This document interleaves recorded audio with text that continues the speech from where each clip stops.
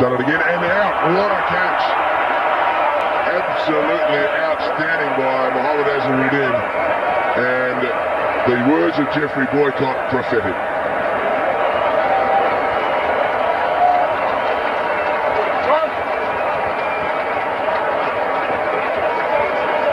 Well, what a catch when we see that again by Azharuddin. But what a shot, look at it. It's nearly a wide. An atrocious shot. Brilliant catch, atrocious shot.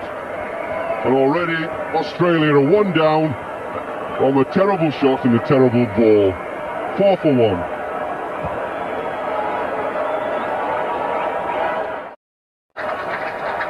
Well, the young man, Ricky Ponting, trying to secure that number three spot.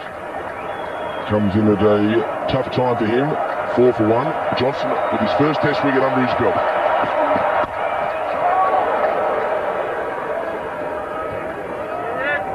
And this is why Ricky Ponting is at the crease in just the second over. So wide and Azharuddin just like picking a right peach off the tree.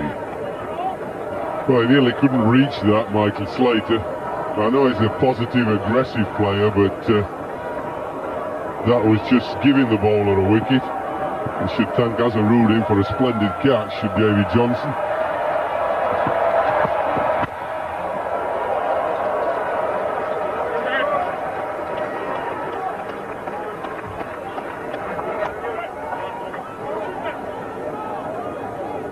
Well, it was a lovely catching height for Azhar, but even so, it was a great reflex action.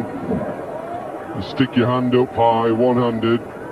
Caught it easy, didn't it? No trouble. Never looked like missing it.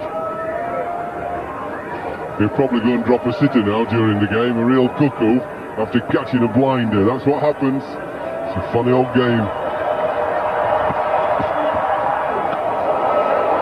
So this tail up Johnson, bowls with a bit of a round arm action.